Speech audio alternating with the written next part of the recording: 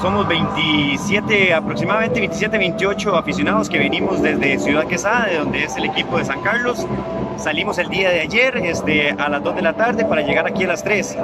Eh, el día de hoy fuimos a conocer el, eh, este, las playas de, de, su país y estamos ahora acá esperando que, de que el equipo tenga un buen triunfo o por lo menos un buen resultado para regresar a casa. Duramos menos desde Costa Rica acá en el vuelo que del, del aeropuerto al hotel por las presas que nos pasamos a Oloquinta a comer, a probar las pupusas que muchos de nosotros no, nunca habíamos probado y nos agarraron las presas de la noche. Duramos prácticamente dos horas y resto desde el aeropuerto al, al hotel para poder llegar.